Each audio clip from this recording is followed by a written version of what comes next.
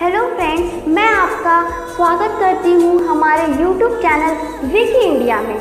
Friends आज आप हमारे चैनल पर बहुत ही इंटरेस्टिंग वीडियो देखने जा रहे हैं। वीडियो देखने से पहले हमारे चैनल को सब्सक्राइब करें।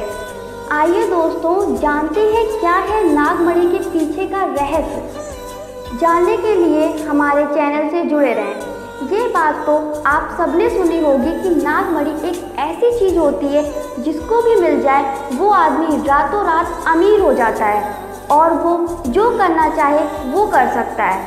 क्या कभी ऐसा होता है?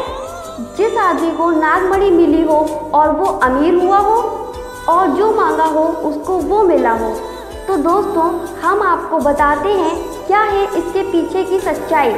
आखिरकार ये नागमढ़ी इन नागों के पास ही क्यों होती है? क्यों कोई आदमी आज तक नागमढ़ी नहीं ले सका?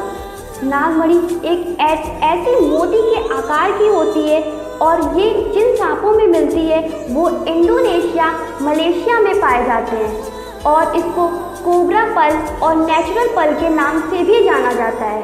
इनका आकार और डिज़ाइन कुछ फ़िश पल से मिलता जुलता है।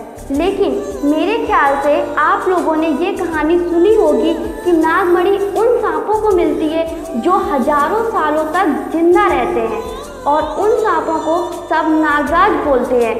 वो सभी सांप का राजा माना जाता है। नागमणि कैसे दिखती है, ये बात आप सबके मन में आती होगी। तो मैं आपको बताना चाहती हूँ कि नागमणि बहुत छोटी सी तरह होती है। यह भी बताया जाता है कि जैसे जैसे नागमणि की उम्र बढ़ती है, वैसे उसका आकार भी बढ़ता है। जब स्वाति नक्षत्र में बारिश होती है, जो बारिश की बूंदें नागों के मुँह में जाती है, नागमणि बन जाती है।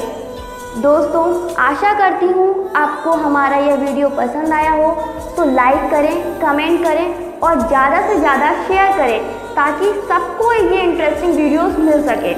धन्यवाद।